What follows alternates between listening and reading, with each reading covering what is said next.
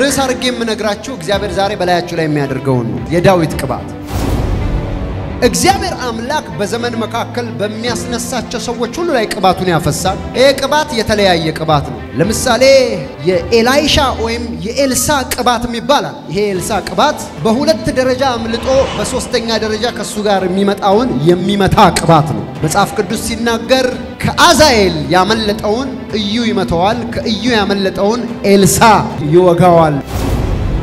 በ third level of anointing ወይም ሶስተኛው የቅባት ደረጃ ነው የኤልሳ ቅባት። የኤልያስ ደግሞ ቅባትም ይባላል። he call literally fire በትክክለኛው እሳት ይምጣ ካለ እሳት ይጠራል።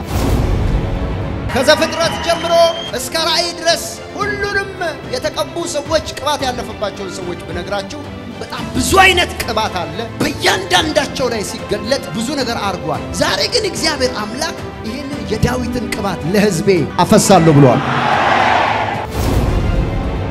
የዳዊት ቅባት ምን አይነት ነው ብትሉኝ፣ በጣም ብዙ አይነት ነገር አድርጓል። እግዚአብሔር ግን ከቅባቱ የመጣ የተደረገውን ተጽዕኖ ጥቂቱን እነግራችኋለሁ። መዝሙር 89 ቁጥር 20 የእግዚአብሔር ቃል ሲናገር እንደዚህ ብሎ ይናገራል። ባሪያዬ ዳዊትን አገኘሁት፣ ቅዱስ ዘይትም ቀባሁት።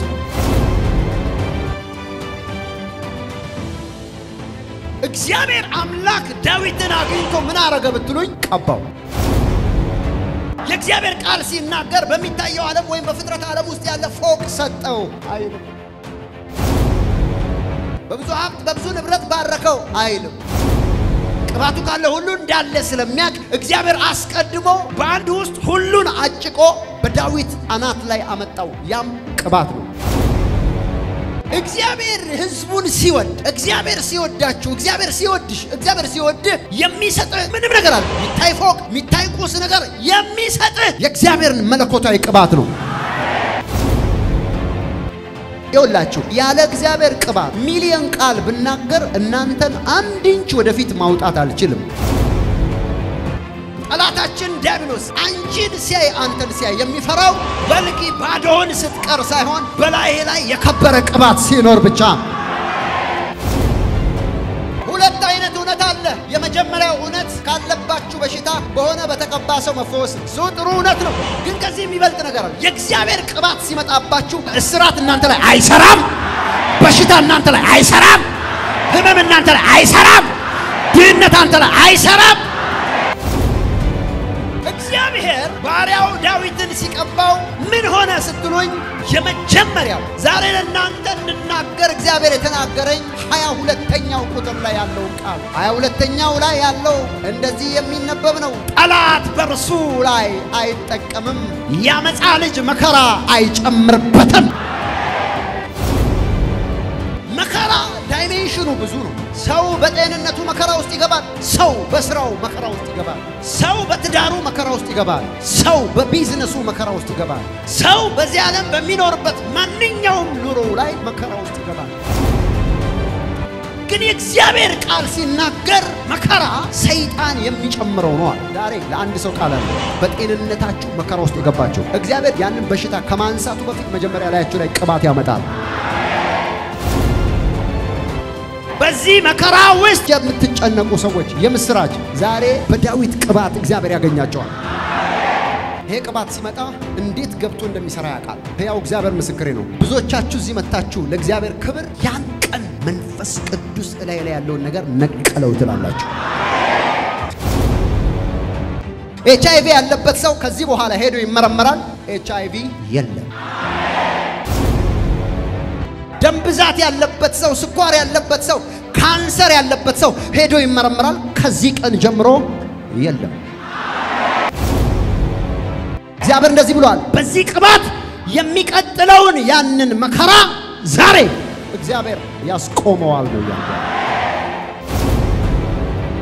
መዝሙር 46 ቁጥር 9 ላይ እስከ ምድር ዳርቻ ድረስ ጦርነትን ይሽራል፣ ቀስትን ይሰብራል፣ ጦርንም ይቆርጣል፣ በእሳትም ጋሻን ያቃጥላል።